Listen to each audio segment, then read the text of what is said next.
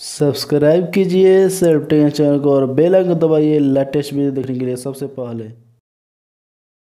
तो hello guys आज के हम वीडियो में आपको यह बताएँगे कि डिजिटल मीटर में बैटरी कैसे चेंज करते हैं जब आपका बैटरी लो होता है ख़राब होता है यानी ख़त्म हो जाता है।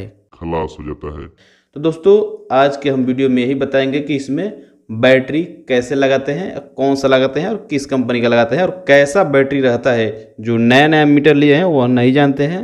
यानी कोई जैसे स्कूल का लड़का लिया हो, प्रोजेक्ट बनाने के लिए, चेक करने के लिए कुछ भी करने के लिए, अगर कोई नहीं जानता हो, नया हो तो उसके लिए यह वीडियो बहुत ही हेल्पफुल होगी। चलिए देखते हैं कि कैसे इसमें बैटरी चेंज करते हैं और आपको दिखाते हैं। तो मेरा नाम हवलदार प्रजापति, आप देख रहे हैं सेल्फ टेक्निकल। तो चलिए शुरू करते हैं।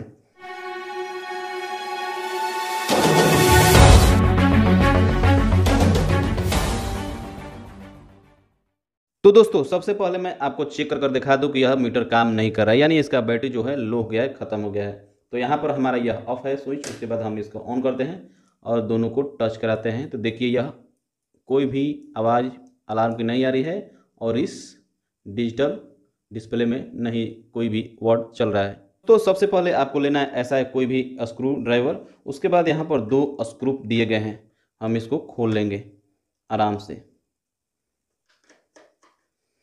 तो देखिए, यह खुल गया है। देखिए, निकल गया। और यहाँ पर देखिए, कुछ ऐसा मशीन इसमें दिखाई दे रहा है। यह जो है आपका जो आवाज़ करता है, यह स्पीकर मान उसके बाद यहाँ पर है हमारा बैटरी जो है, यह बैटरी नौ वोल्ट का है। बहुत ही अच्छा चलता है अच्छा टिकाऊ रहता है। अब हम लगाएँगे अपना दूसरा नया बैटरी जो कि है, यह। बैटरी चेंज करने से पहले हम इस बैटरी जो नया बैटरी है, इस प्रकार लेवल हटाएँगे। यहाँ पर देखिए, प्लास्टिक के जो लेवल दिया गया है तो हम पूरा नहीं हटाएँगे, हमको आगे का सिर्फ़ काम है। तो यहाँ से हम इस तरह अपने चाकू से तो देखिए हमने हटा लिया बहुत ही अच्छी तरह से। अब इसमें देखेंगे कि माइनस प्लस किधर है। इसको सबसे पहले हम निकाल देंगे बैटरी को। तो यहाँ पर देखिए, यहाँ पर लिखा हुआ है प्लस प्लस, उसके बाद इधर माइनस। अब हम बैटरी में देखेंगे, माइनस प्लस किधर है इस बैटरी में। तो देखिए, यहाँ पर यह है प्लस, उसके बाद इस साइड में है माइनस। तो हम इसको इस तरह इस तरह, देखिए, यहाँ पर प्लस है, उसके बाद यहाँ पर प्लस है, ठीक है, उसके बाद हम इस तरह लगा देंगे।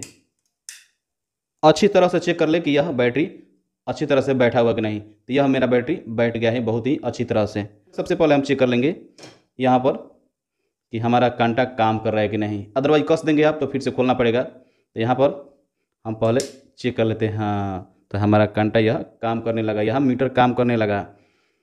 तो बस उसके बाद यहाँ पर यह भी हम ट्राई कर लेंगे। काम कर रहा है, सही काम कर रहा है। उसके बाद हम इस कैप को कस लेंगे बहुत ही आराम से। देखिए, यह कैप जो है मेरा बैठ गया स्क्रू डालकर स्क्रू ड्राइव से हम अच्छी तरह से को तो एक कभी भी नट जो कसते समय एक नहीं टाइट करना चाहिए। दोनों बराबर टाइट करते जाएँ।